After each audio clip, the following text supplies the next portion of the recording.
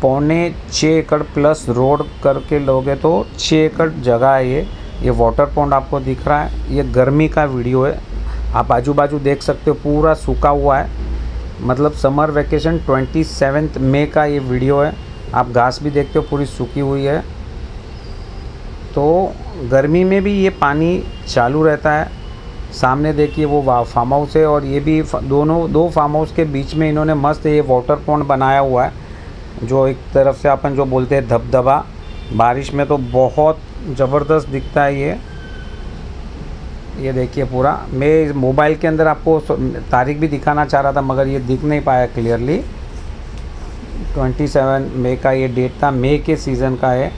आप घास वगैरह देख के भी आइडिया आ जाएगा कि, कि समर सीज़न का ही ये वीडियो है। ये पार्टी आए थे हमारे इधर।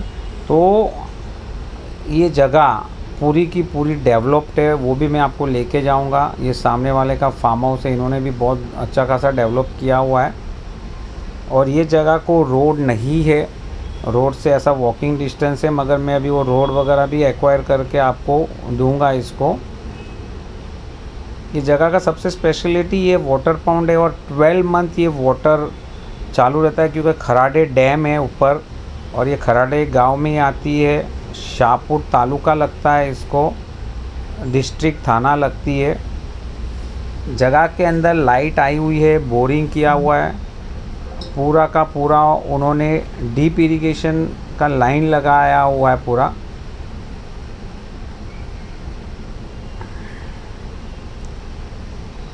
ये पोल लगी हुई जो प्रॉपर्टी है, अपनी ये प्रॉपर्टी स्टार्ट होती है। ये पीछे वाला अगर अपने को और जगह बढ़ाना है तो भी अपन बढ़ा सकते हैं। ये आपको जगह का दिखा रहा होगा कैसा टेबल लैंड पूरी जगह है।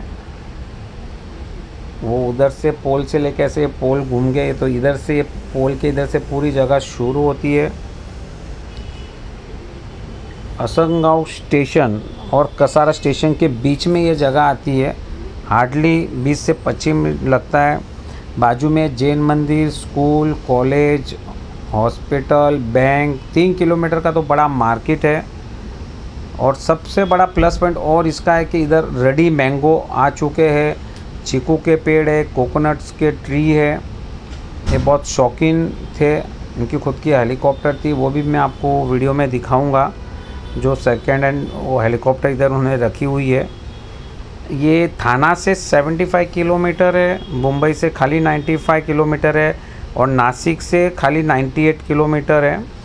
आजू बाजू बहुत बड़े बड़े रिसोर्ट है, जैसे कमल फार्म रिसोर्ट है हजगिरी रिसोर्ट, एक हंड्रेड एकड़ का रिसोर्ट है। तो आप इसको एक एग्रो टूरिज़्म में कन्वर्ट कर लोगे तो एक बैठी इनकम आपको चालू हो जाएगी। आप ये सब आम के पेड़ देख सकते हो। हाँ ये प्लस पॉइंट बताना, ये भूल गया कि ये सब ऑर्गेनिक मैंगो है। ये कोकोनट का ट्री वगैरह, ये टोटली गाँव गाय के इससे बनाते हैं पूरा। ये छोटा सा इनका सर्वेंट क्वार्टर है। जगह पूरी की पूरी उन्होंने डेवलप कर दी है। आप सब देख रहे हो, सब 20 20 25 साल जूने पेड़ है। आम के, चिक्कू के। और रेडी आप बेच सकते हो, ऐसे आम है। रीसेल प्रॉपर्टी है। सिंगल नाम है सात बारह पे।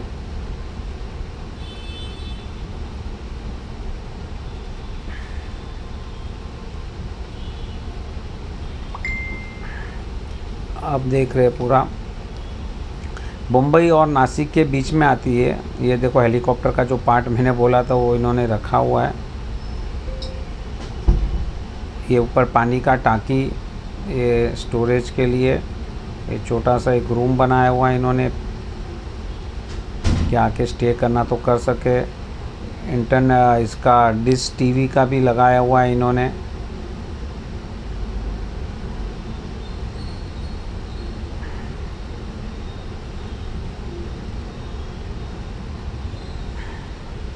ये देखिए कैसे मस्त हाँ नारियल के पेड़ रखा है, नीचे चूना लगाया हुआ है, ताकि ऊपर कोई कीड़े चढ़े नहीं।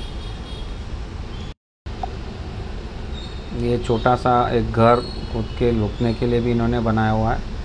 ऐसी डेवलप प्रॉपर्टियाँ बहुत कम मिलेगी आपको, जिसको 12 महीना पानी है, स्टेट हाईवे को बाजू में एकदम। इसको जाने के लिए रास्ता मैं बना के दूँगा, आपको मतलब थोड़ा और जगह लेना पड़ेगा। उसके साथ में मैं आपको ये छः एकड़ बता रहा हूँ। हर एक पेड़ उन्होंने बहुत अच्छी तरह मेंटेन रखा हुआ है। आम दिख रहे हैं आपको इसके अंदर, पेड़ के ऊपर पूरे आम लगे हुए।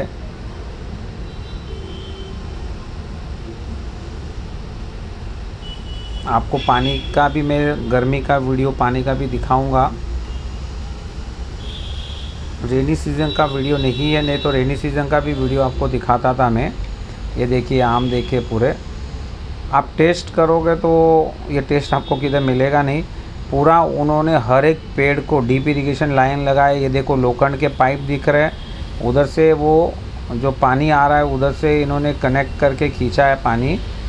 और पूरी जगह को लोखंड का पाइप और डीप इरीगेशन लाइन दे के पूरी जगह को पानी देते ये देखिए लोखंड का पाइप।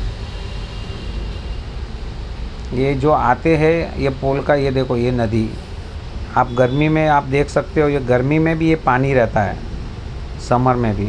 और ये पाइपलाइन जो पानी खींचा इन्होंने, ये जो रोड है, इधर से राइट नाउ आते हैं, मगर ये मैं परमिशन लेके गवर्नमेंट से, ग्राम पंचायत से इधर एक रो ब्रिज बना के आपको दूँगा, ताकि आप जगह तक एंट्री कर सकते हैं। बाकी राइट नाउ अभी अगर मैं जगह दिखाऊँगा तो आपको ये इधर से, इसके ऊपर से लेके जाऊँगा।